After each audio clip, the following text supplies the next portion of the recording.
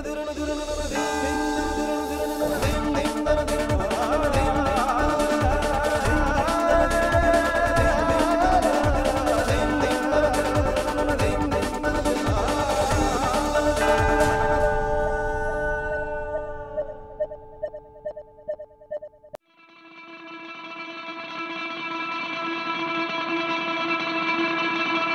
a city that is constantly changing, ever wondered what keeps Mumbai going?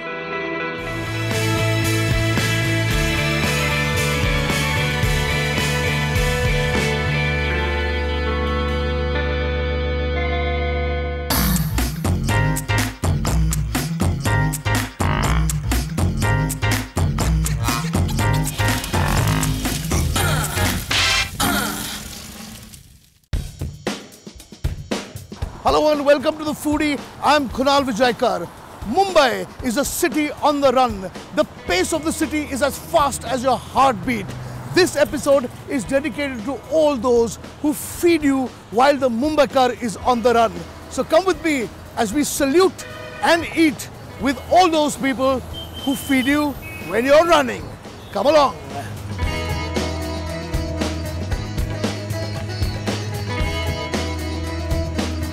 Multifaceted, contrasting, and in constant pursuit. The city of Mumbai seldom stops to breathe. We are constantly moving, and so is our food. Everything needs to be quick and available on the go. And street food caters to just that. There is always someone making food on the streets of Mumbai. The city offers a plethora of tastes and flavors to choose from.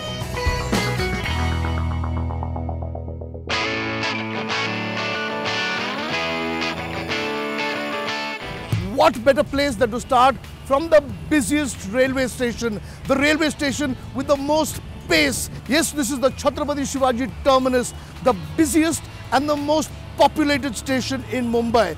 Right across the road is a bunch of shops which serve you food and there is a crowd over there that is unbeatable during lunch.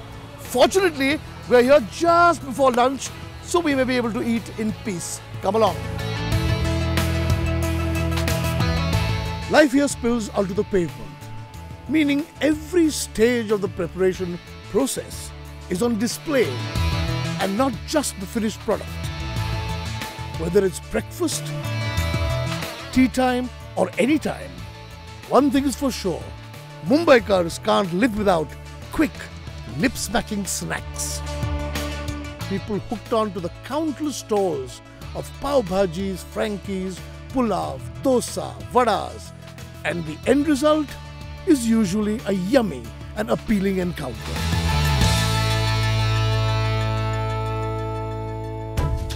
Okay, they've got all the regular stuff, the pav bhaji and the vada pav and all that, but I want to try something a little different, okay?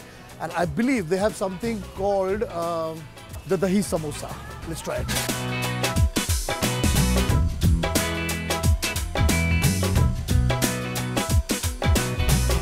Okay, so essentially we've got a samosa which has been crushed and then garnished with everything possible including dahi, sev, aloo, chutney, kind of goody things. Let's try. Reminds me a bit of the chaat available on the streets of Delhi. This is, I think, better than eating just a samosa. I'm looking for the crunchy part. Okay, let's see what else there is. Okay, this seems to have a lot of Maharashtrian stuff. Kanda batata poha. We've got uh, sabudana khichdi and dudhi halwa. Let's try. Sabudana khichdi, ga- gajar halwa. Okay, there is no poha because poha was breakfast thing. We've hit lunch. So I'm going to have sabudana vada, sorry, sabudana khichdi and gajar halwa. Okay, this is hot. I am hot, and everybody over here is just sweaty and hungry. I'm going to try this. Trust me, and I'm not lying. This sabudana khichdi is perfect. They don't make it like this anywhere. Even at home, when you try it, it never turns out as soft and delicious as this. But this is an extremely popular place. If you look around yourself, you can see lots of people coming here at lunchtime. People who get off at the station at VT, bang, come here, eat and then move on. Whether it's morning, afternoon or evening. Where's my gajar halwa gone? Oh, thank you. Oh, gajar ka halwa. Let's check it out. This is as good as any. On the streets, full of mawa.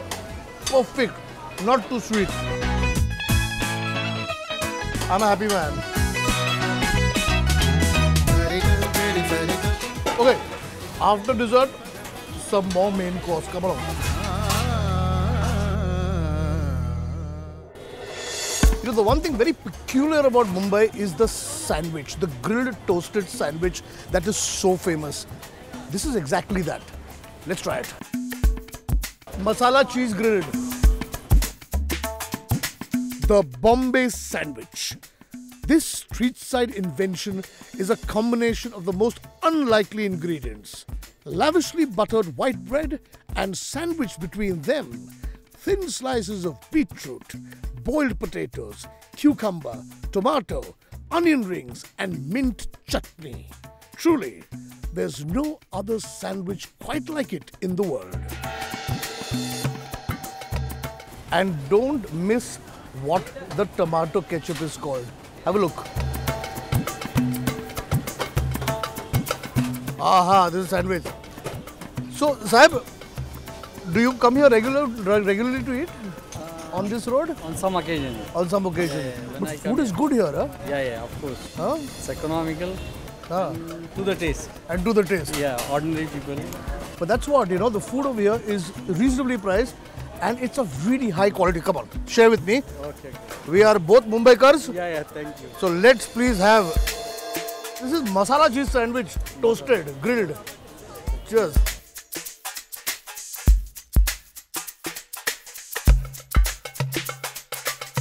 I must say,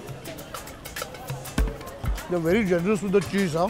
Yeah, yeah. बहुत सारा चीज डालते हैं What इसमें else? Yeah.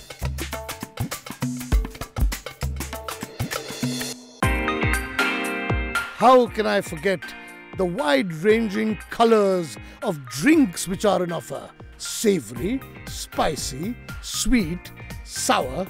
Okay, now everybody has kala katta and uh, fresh lime water soda. I'm going to try something new. बस वो आपका red rose शरबत है क्या? एक मिलेगा? Let's try it it should be sickly sweet red in colour and it should quite delicious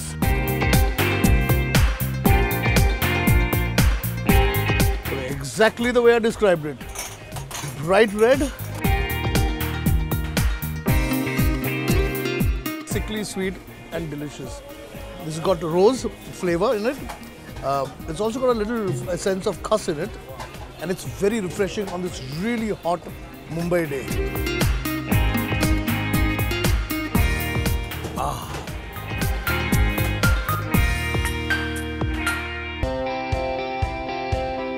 A significant characteristic of Mumbai is its corporate civilization. Towering buildings mushrooming at every nook and corner. Formally dressed office goers strutting in and out of offices and no time for food. Let's see where they go to fill their stomachs. I think the food here is very tasty. It's uh, hygienic and plus it's very affordable. It's better than the restaurant since they serve stale food and here you get food which is very fresh.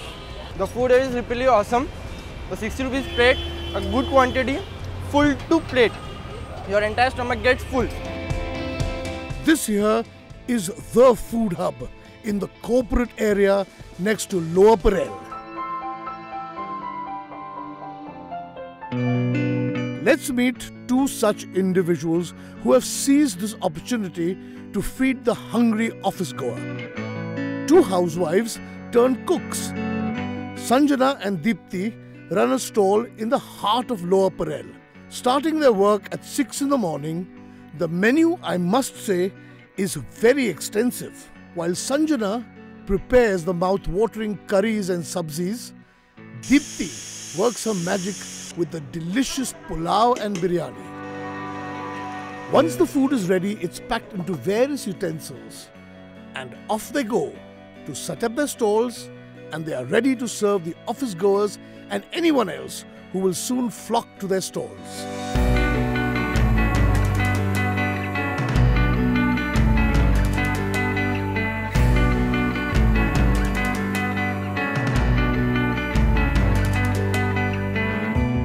So this is it.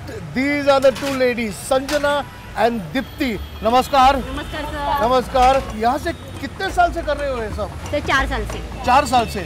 आप ये खाना बनाने से पहले आप क्या करती थी? जॉब। कहाँ जॉब करती थी? मैं मित्तल में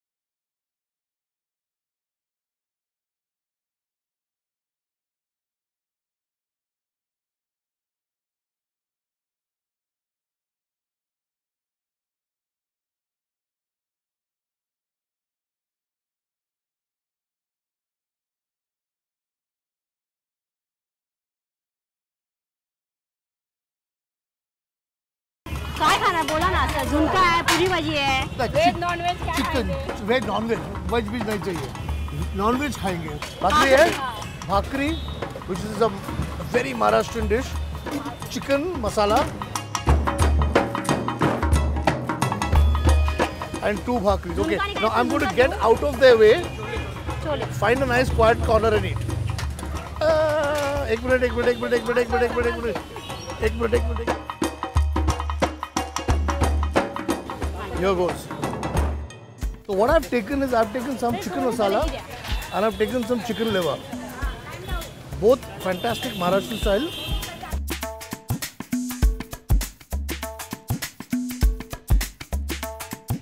This is spectacularly good. This is as if I'm eating in somebody's home. It's a nice Maharashtrian style chicken masala.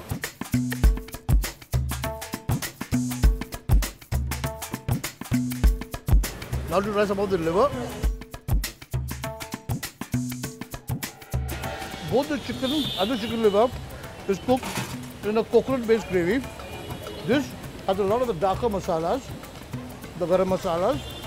The chicken has garam masala, but more of the haldi and the red chili powder. The bhakris are made out of rice.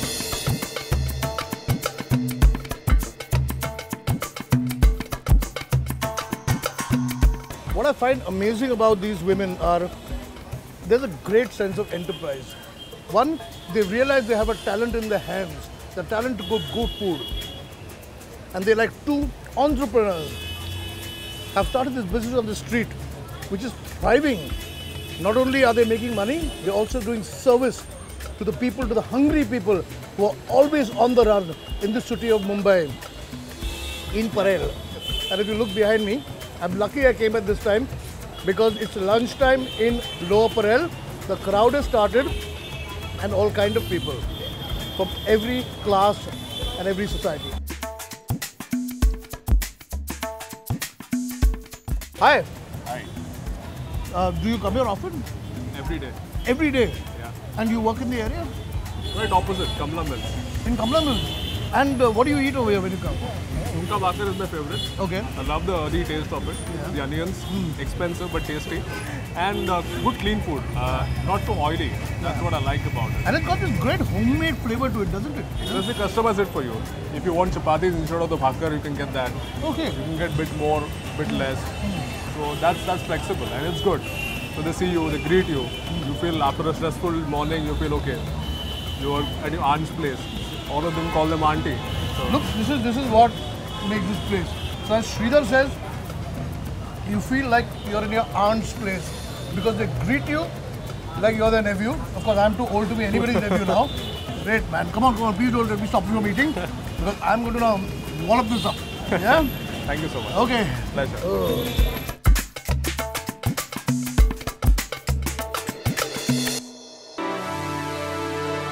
As the day turns into night, the on the move eateries of Mumbai get busier because it's time to grab a quick bite before reaching home. One such lane is Khau Gully at New Marine Lines. Well, the sun is setting on the pace of Mumbai. It's going to slow down a bit. But before it slows down, there's a mad rush. There's a mad rush for people to go home. They're all going back home from work and they're rushing to the railway station. From Chinese food to pav bhaji to delicious sweets, Khau Gully is filled with a variety of foods. Once there, you cannot leave before trying as much as you can eat. I'm too excited to be here. Let's eat. Okay, I love the name. This one's called Lenin Pav Bhaji. That one's called Lisha. But the thing is about Lenin Pav Bhaji is that it also serves you noodles. Now, I'm not sure how authentically Chinese they are, but they warrant a taste. एक Schezwan Chinese meal. Half off. Half off. Let's check it out. Okay, so we've got Chinese meal. Now you heard of all kind of bhel, but look at this one. I don't know what is in it, but I'm going to try it and tell you. I promise you, nobody in China will recognize this dish. But this is spectacularly good. It's crunchy, it's spicy. And with it, they've served this deadly looking sauce. This is quite nice. Now to try some of these noodles. A half a plate is a hell of a lot over here. These are Szechuan noodles and they come along with a little bit of gravy, Manchurian bolognese. The best way to do it is this way. Lovely. This too is hot, freshly made, tasty, spicy. This is what I like about this city, what I like about this country. Everyday people making pretty much everyday food for the everyday man, like these two over here. Salam Saab. Very good. Very good, very good food. Hmm? And before I end, I have to eat a little more of this Chinese bhel, which is deadly. It's just deadly. So, let's move ahead and see what else there is. Okay, time to check out some rolls. This Munnar roll sounds very nice. I don't understand the fascination for Chinese food that we have. It's not Chinese, but it's damn tasty. Let's try this, okay? So we got a veg Frankie, veg Szechuan Frankie, noodle Frankie, veg cheese Frankie, noodles paneer, mayonnaise. Shall we try the veg cheese Frankie? Veg cheese Frankie milega boss? One, one, one. Veg, veg cheese Frankie.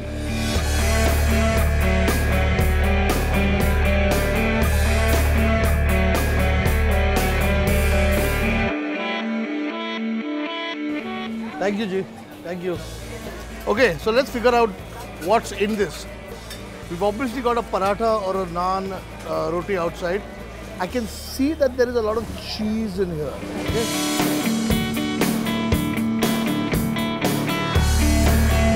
Quite nice. Fattening as hell, but very nice.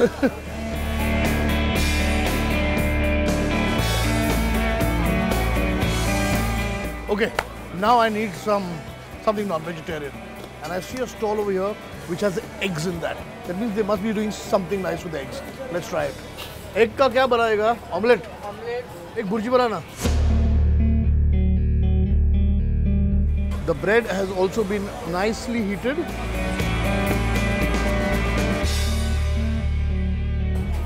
Bhurji pav.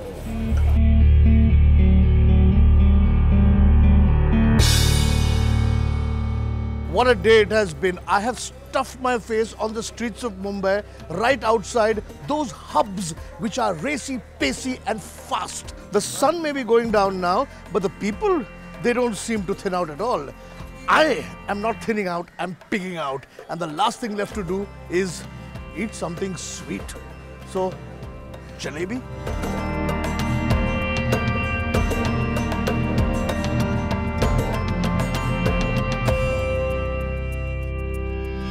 Great way to end this whole day of paying out.